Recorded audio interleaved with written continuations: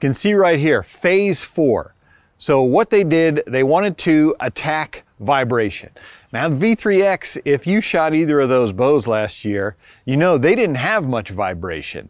However, I can tell you the difference is noticeable. I shot them side by side, and this one there is noticeably less vibration and wicked quiet. I mean, this thing hardly makes any sound at the shot. It's unbelievable. You got to see it to experience it for yourself. This thing is stupid quiet. How they did that was right here. You can see this uh, rubber strip down the middle here. And this is actually four limbs right here. There are eight limb pieces per bow, but this, these are separate pieces. With this rubber dampening material in between, that's where they attack that vibration and noise with that setup. And I'm, it's just, it's ridiculous how quiet this bow is, both in noise and vibration.